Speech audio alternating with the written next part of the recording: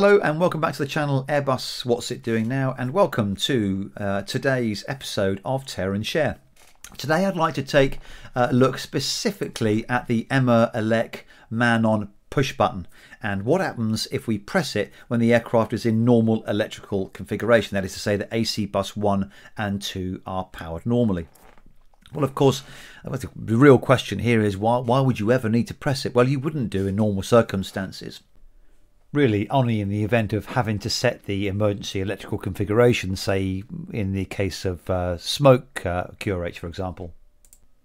But I have seen it on a couple of occasions during an emergency descent um, in the event of a sudden loss of cabin pressure, where the crew uh, have been required to press the mask man on in the uh, oxygen uh, section of the overhead panel uh, in order to ensure the deployment of the oxygen masks for the passengers.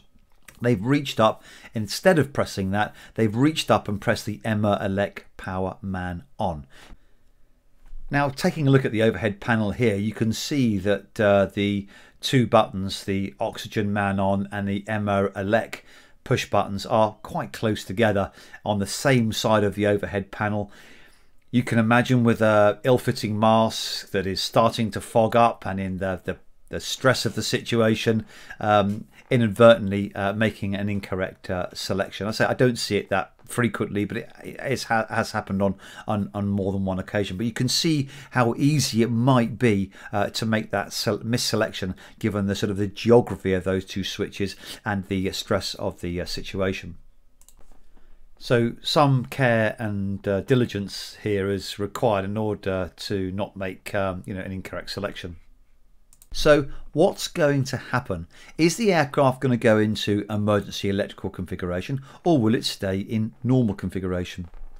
To answer this, we need to go back to the emergency electrical configuration brief which I gave and also the electrics brief that I gave and more specifically have a look at the priority of uh, electrical generation or the order of priority that Airbus likes in terms of its power source. Now you remember that uh, I like to use the new, new uh, mnemonic, I'll get my teeth in in a minute, the new mnemonic Gear B, G-E-A-R-B. I'll bring it up on the screen for you. So in order of preference, the Airbus likes the generators first. It then looks for an external ground power. It then looks for an APU. It then looks for a RAT and then it'll look for aircraft batteries and it will look for sources in that order of priority and preference.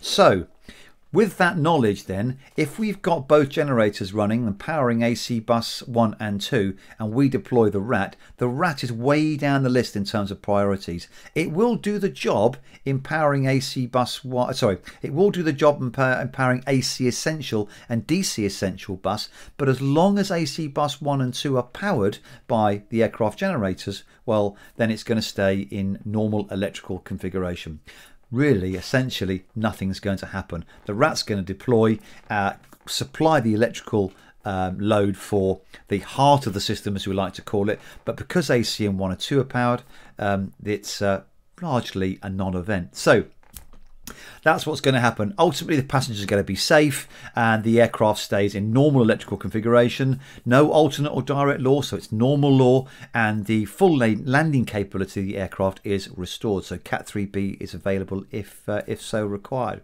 So perhaps if you did it, not a polished uh, performance because we haven't really followed the uh, the procedures correctly, but the passengers are going to be safe and the uh, aircraft is um, going to you know function normally uh, electrically.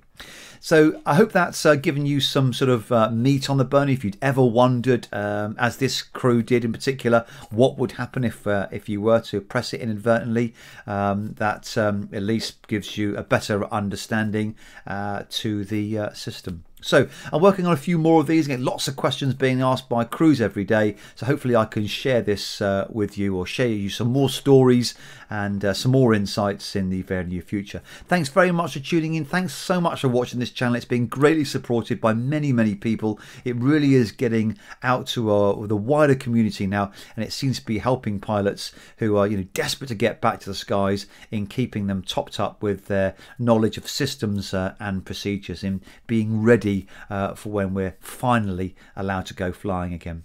Once again, thanks very much, and I'll talk to you again very soon.